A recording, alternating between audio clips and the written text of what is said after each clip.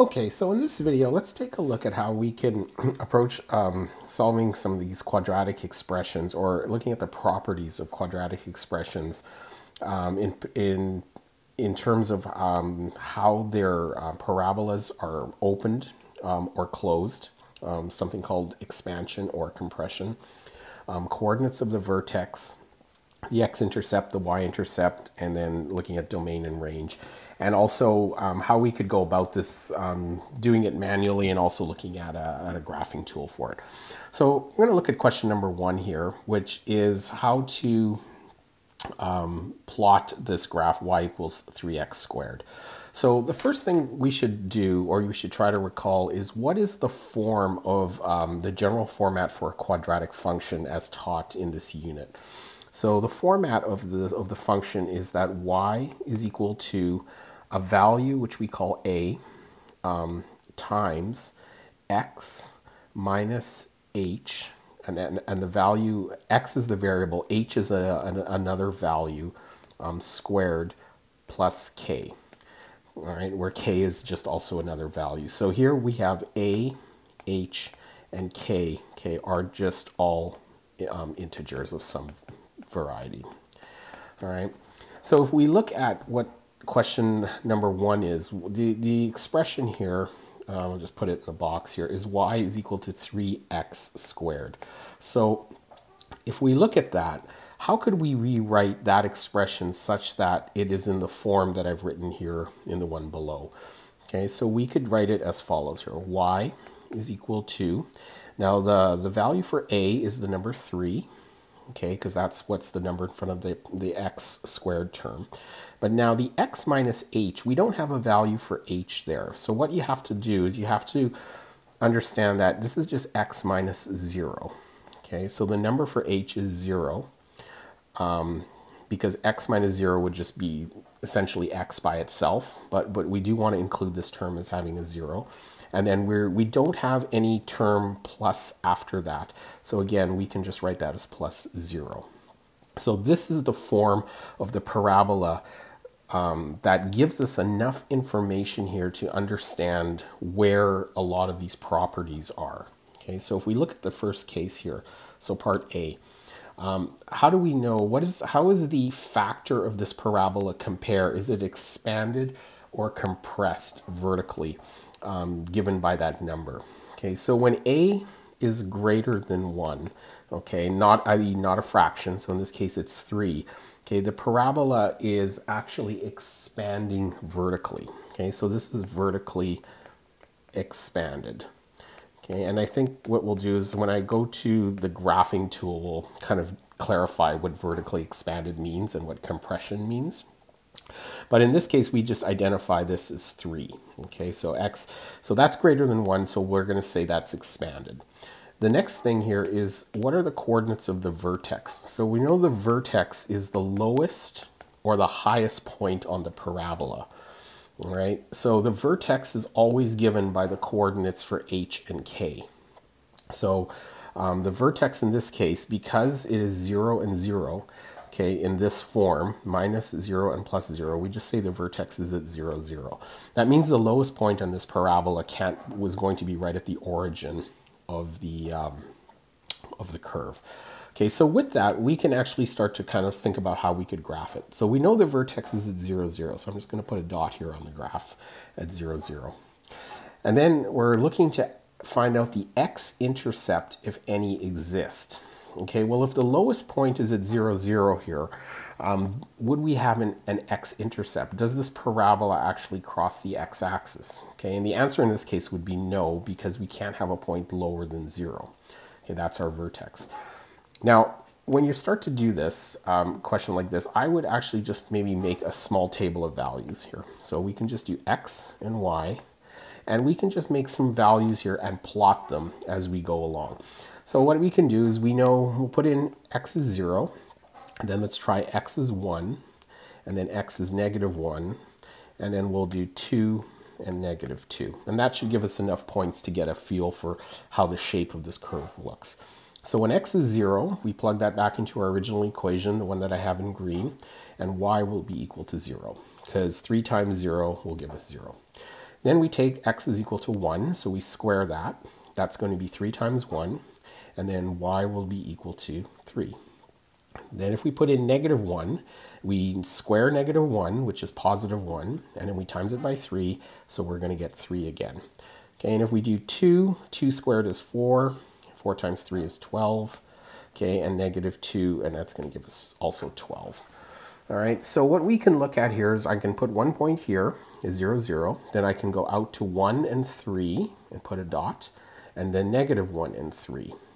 All right, and then if we want to add 2 and 12, 12 is going to be just off the curve a little bit here. It's going to be a bit higher. Okay, and then negative 2 and 12 is here. So you can see that this, if we were to draw the parabola shape, you know, which I'll put in here in a different color in green, okay, it's very, very steep, turns sharply at the origin, okay, and then goes back up. Okay, and that is the way that you could um, to, to graph this um, once you have the, the formula kind of all kind of rearranged a little bit where you, you know how to, uh, to find the vertex because the vertex is key for this one. And also the fact that the parabola opens upward, okay, that's also important. And that upward mm, um, direction is determined by the number three. Okay, because it's a positive number, positive 3, that means the parabola opens upward. If it was negative value, it would open downward. All right, and then the rest of the equation here is, so there are no x-intercepts in this case here. So we can, for C here, we can say there are no x-intercepts. Okay, the parabola is not low enough, shifted down or low enough so that it crosses the, the graph at any one point, the x-axis. So we'll just leave it as saying no. And then the domain and range. So the domain always refers to the x coordinate or the x values. So the domain for this is that um, it can be all numbers positive or negative. So x is an element of all real numbers, okay? Um, all real values. Okay, and then the range refers to how the y coordinate um, changes. And when we look at the graph that we've sketched, okay, the y coordinate um, does not go below zero. So that means y um, is essentially going to be greater than or equal to zero.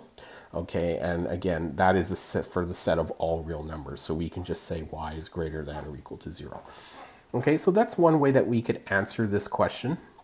Um, and then we would just apply this technique into further problems. But before I, um, I leave this one, we're just going to look at how we could do this in a graphing tool. So a tool that I like to use that's free to use is something called Desmos. Okay, I'm just going to erase, reset my graphs here. So you can get this on the web um, or you can get it as an app for any devices.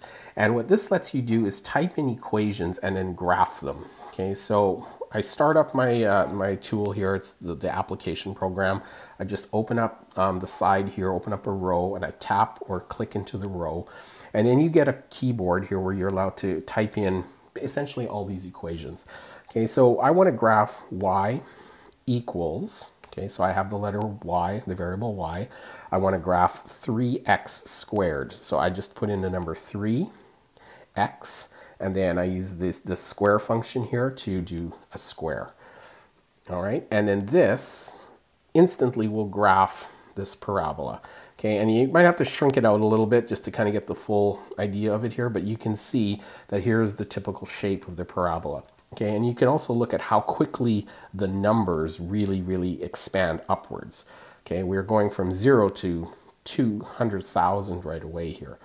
Okay, so so this is, so if we looked at how we graphed our original parabola, we, we started with numbers like that are in the ones.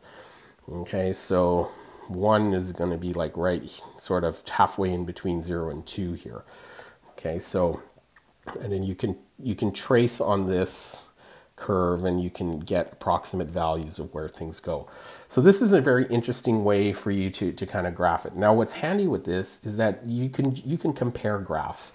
So remember we said we wanted to know what does the 3 do with the 3x squared. So we could just graph the um, simpler equation of this, y equals x squared, Okay, and you can see now the two differences here. So the purple is the regular one.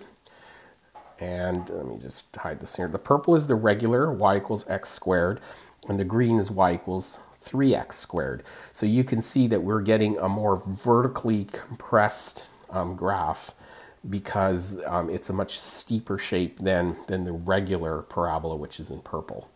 All right, and then we could also just take one step further here. We could graph something that is a fraction of that. So we could say, let's say a half x squared. So we can go y is equal to um, 0.5 x squared. Okay, and then we'll put that in black. So then you can see here in this case that the black curve, okay, is got um, it's got a vertical compression. It's flatter, okay, it's wider, okay, than the original curve there. So this would be a family of curves, all with the vertex at zero, okay, where we have just changed the values from 3 to 1, because remember there's a 1 in front of the x squared, and then 0 0.5. Okay, and if we wanted to see what happens if we made it negative, um, we could just take one of the equations. I can delete one of these here, and I can put in a negative 3, Okay, and then you can see right away that the negative 3 creates the downward facing parabola where the vertex is at the maximum, okay, at 0, 0. Okay, so that gives that that illustrates the difference between having a positive 3 and then a negative 3 here in the curve. Okay, so hopefully that um, helps you out with this question. Um, I will look through a few of the other problems and we'll kind of work through them. But this is um, a way for you to, to examine how to do this question, not only just manually, okay, and then plot something, but also to look at it with a computer or a graphing tool um, that's easily accessible and it lets you start to understand a little bit more of how the math works.